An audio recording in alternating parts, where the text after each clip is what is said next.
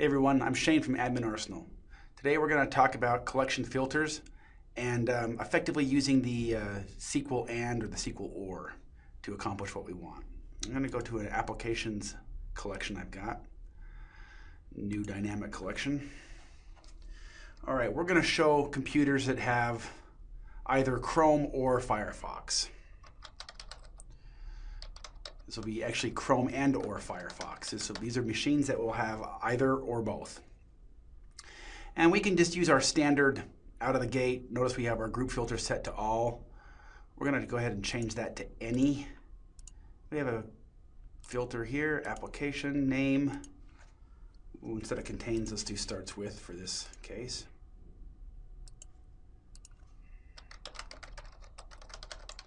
Mozilla Firefox. Now we're going to create another one.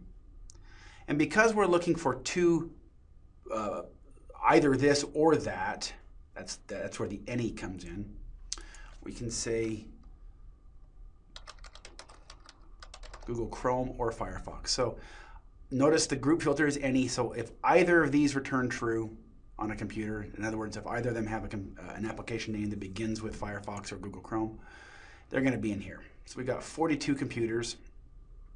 Open up Trixie as a, just a quick spot check. Notice there is no Google Chrome application, but there is a Firefox right there. Um, if I come down to Stanhope, there's quite a few in Stanhope, so we'll use the filter here. Do you see a Firefox? Yes, right there. Do you see a Chrome? Yes. Why? Because that filter, all we looked for was one of those filters passing. Yes, it has Chrome and it also has Firefox. So uh, that's that's going to show and or. Now here's where you can get here's where you can kind of um, run into trouble.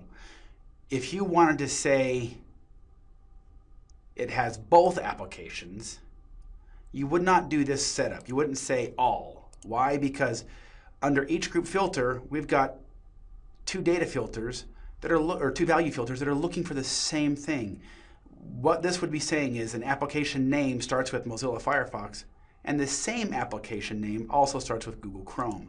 We're going to have zero computers. So if you wanted to look for something that had an AND, you would actually need to use multiple group filters. I'm going to change this back to an any, create this, and um, actually we could change this to an all, pardon me.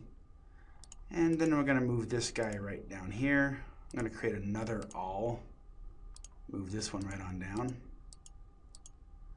Because now each group filter can check um, different application names. So before, under the same group filter, you're not going to have an application, the same application name that begins that begins with both Mozilla Firefox and Google Chrome. It's mutually exclusive. But in this case, we're going to show computers that actually have all of, uh, have both applications. And these are the computers, remember Stanhope had, as an example, Stanhope had both. Why? Because our top group filter says all of the subgroups have to return true. Each of the subgroups says you have to have an application that says Chrome. The next subgroup, you have to have an application that says Firefox. So that's how you can do, we'll change this one now to AND. Machines that have AND Firefox. Perfect. I'm going to go ahead and duplicate this so we can give you another example. Now what if I wanted to say computers that only had Firefox or Chrome but not both? I'm going to change this top group here to any.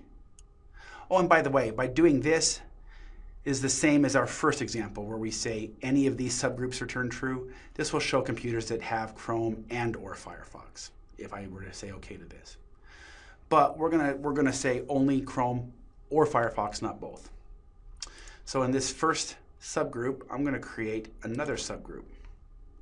And this one I'm just gonna say uh, not all. I'm gonna create a new value filter.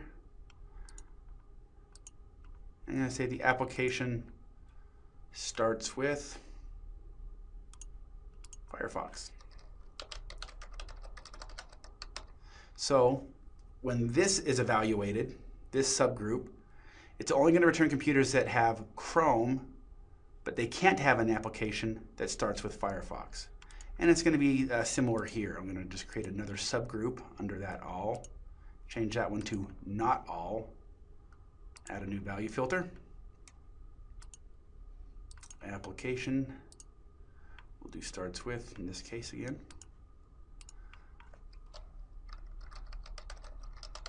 Google Chrome. So now any of these two subgroups right here, all or all, any of these have to can return true.